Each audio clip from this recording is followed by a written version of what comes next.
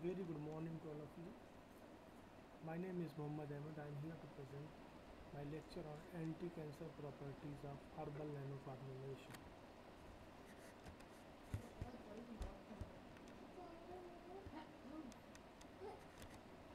These are the contents of my slide. Introduction, then introduction nanotechnology and cancer, drawbacks related to conventional formulation, advantages of nanosystems, and applications of nanoformulation, and various nanoformulation for tumor targeting.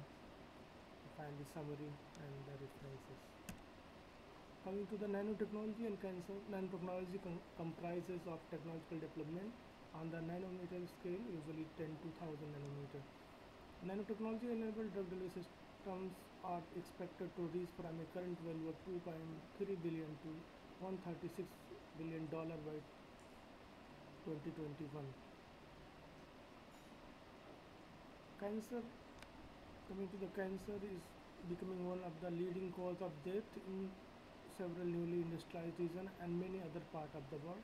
It is due to the uncontrolled growth and proliferation of abnormal cells in the body. Cancerous cells are malignant cells. More than 5 lakh 50,000 cancer deaths occurred in India in 2010 and 71.1% of those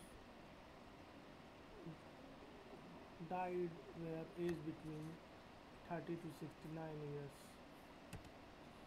Coming to the drawbacks related to certain conventional formulations, they have drawback of poor oral bioavailability, poor absorption on oral administration, and upon IV injection there is a lot of toxicity. Then embolism of blood vessels is there. But using nanoformulation approach, we can provide the higher bioavailability in case of poorly water soluble drug. In that way, we can improve the efficacy of drugs. There are certain advantages of nanoformulation. Ease of preparation with no significant energy contribution. The small size of the particle give large sur- surface or interfacial area. It also improve the oral bioavailability of many drugs. Improved dose proportionality is there, reduced fed and fast variability, reduced inter and intra-subject variability. There are various approaches through which we can target cancer or tumor site. These approaches are polymer, polymeric micelles, nanoemulsions,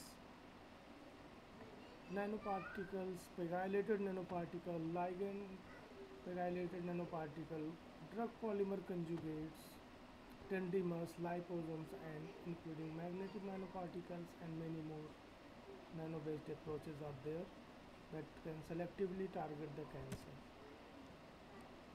Now, pause here are few ques- questions related to this lecture.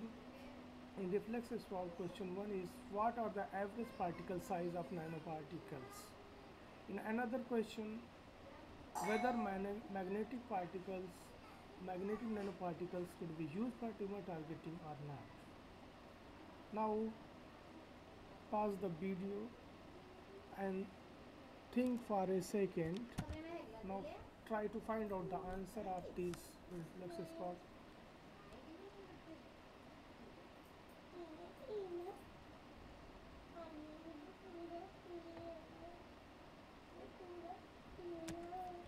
Here the answer for reflex spout question 1 is the average particle size of nanoparticles are 10 to 100 nanometers. In case of question number 2, answer is nanoparticle, magnetic nanoparticle could be used for selective targeting of tumor. These can also be used for tumor targeting. Coming to the applications of nanoformulation, application of nanoformulation in cosmetics are there, antimicrobial nanoformulation, are also available in the market. Nanoformulation in cancer therapy are available. Nanoformulation for targeted drug deliveries and nanoformulation for ocular drug delivery systems also there. Coming to the summary, target delivery system can be achieved in order to increase bioavailability and reduce side effect. Control and sustained release formulation will come into play using this technique, which is the demand of present market. Nanoformulations are experiencing a very active development as reflected by the numerous publications and patents being granted on this system. Furthermore, they can be employed for challenging tasks such as carrying out chemotherapeutic drugs to tumor cells are neoplastic cells and also for the oral delivery of insulin. These are differences of my slide. Thank you all for listening.